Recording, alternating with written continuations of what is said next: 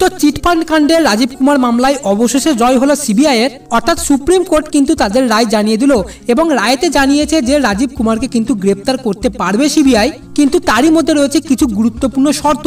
যে শর্তগুলি আমরা দেখে নেব এই ভিডিওটিতে। সুতরাং ভিডিওটিতে অবশ্যই শেষ পর্যন্ত সঙ্গে থাকুন। ভবিষ্যতে এই বিষয়ে যে কোনো খবর সবার আগে পাওয়ার জন্য অবশ্যই চ্যানেলটিকে এক্ষুনি সাবস্ক্রাইব করে নিন। সাবস্ক্রাইব করার জন্য নিচে লাল রঙের সাবস্ক্রাইব বাটনটি প্রেস করুন এবং সাবস্ক্রাইব হয়ে গেলে পাশে নোটিফিকেশন বেলটিকে বাজিয়ে দিন যাতে নতুন কোনো ভিডিও আপলোড করলে তার নোটিফিকেশন সবার আগে পৌঁছে যায় আপনার কাছে। এবং আরেকটি রিকোয়েস্ট আপনার কাছে ভিডিওটিতে এক্ষুনি একটি লাইক দিয়ে দিন, কারণ আপনার একটি লাইক আমাকে অনেকটা উৎসাহিত করে পরবর্তী ভিডিও আপলোডের জন্য। তো সুপ্রিম কোর্টে আবারও ধাক্কা খেলো রাজীব কুমার মামলা। রাজীবের রক্ষা কবচ তুলে নিল শীর্ষ আদালত। রক্ষা কবচ বলতে শীর্ষ আদালত আগে যে নির্দেশ দিয়েছিল, অর্থাৎ রাজীব কুমারকে গ্রেপ্তার করা যাবে না, এবার সেই রক্ষা কবচই তুলে নিল শীর্ষ আদালত।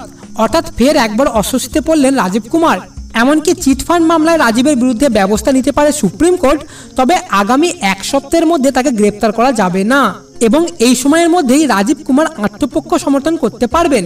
জামিনের আবেদনে জানাতে পারবেন তিনি, প্রসঙ্গত এর আগে রাজীব কুমার মামলায় স্থগিত রাখার নির্দেশ দেয় প্রধান বিচারপতি রঞ্জন গগৈয়ের নেতৃত্বাধীন বেঞ্চ।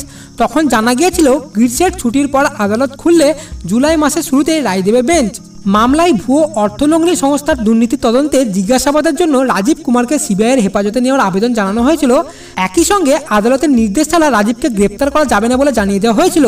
কিন্তু আজ রাজীবের উপরে রক্ষা কবচ তুলে নিল সুপ্রিম কোর্ট। আজকে রাজীব কুমার মামলার রায়ে সাপ জানিয়ে দেওয়া হয়েছে যে, জেরার জন্য রাজীবকে নিজেদের হেফাজতে নিয়ে জেরা করতে পারবে সিবিআই। এমনকি রাজীবকে গ্রেপ্তারও করতে পারবে সিবিআই, তবে আগামী সাত দিন রাজীবের গায়ে হাত দিতে পারবে না সিবিআই। অর্থাৎ এই মুহূর্তে সিবিআই রাজীব কুমারকে গ্রেপ্তার করলেও তাকে কিন্তু কোনো রকম হ্যারাসমেন্ট করতে পারবে না।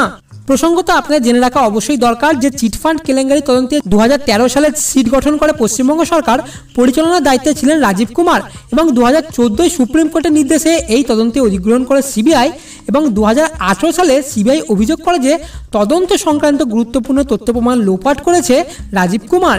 এবং তারপরে সিবিআই হানা দেয় রাজীব কুমারের বাড়িতে এবং এরপর থেকে শুরু হয় সুপ্রিম কোর্টে যুদ্ধ। সিবিআই এর তরফ থেকে সুপ্রিম কোর্টে রাজীব কুমারকে গ্রেপ্তারের জন্য আবেদন জানানো হয়েছিল এবং সেই আবেদনেরই রায় জানানো হলো আজকে। অর্থাৎ সিবিআই এর কাছে কিন্তু এটি একটি বড়সড় জয়ও বলা যেতে পারে। এরপরে এই বিষয়ে আপনার কোনো রকম মতামত জানার থাকলে অবশ্যই নিচে কমেন্ট করবেন। এই ভিডিওটিকে অবশ্যই বেশি বেশি করে শেয়ার করে দেবেন। দেখা হচ্ছে পরবর্তী ভিডিওতে। এখনকার মতো এতটুকুই। Have a nice day